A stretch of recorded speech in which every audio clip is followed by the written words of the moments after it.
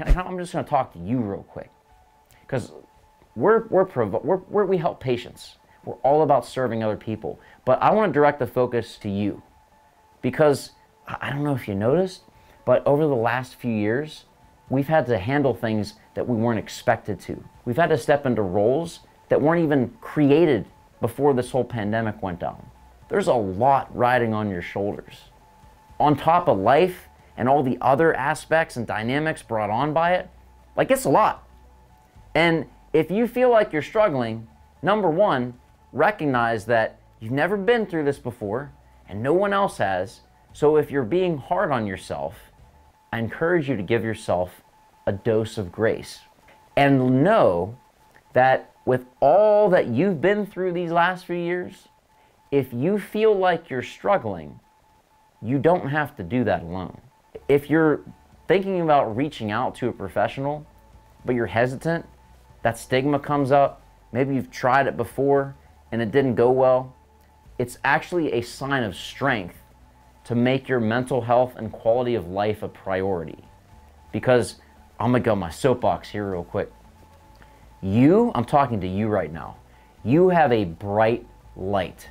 I truly believe that every single person, and that includes you, were created on purpose for a purpose. To literally beam like a beacon to serve others at your highest level. You were not created to live a mediocre life. You were not created to live in pain. Pain happens. If you stay there, it becomes suffering. That's a choice.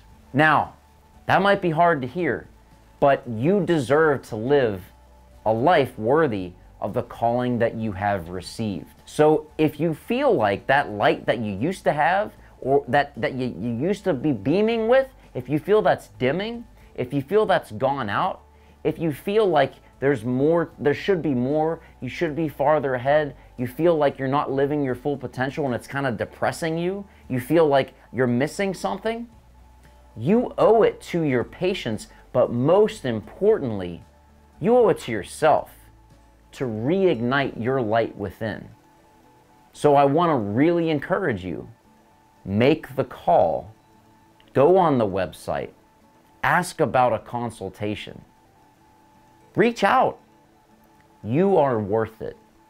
I really hope that this episode helps you and your patients on a topic not talked about enough.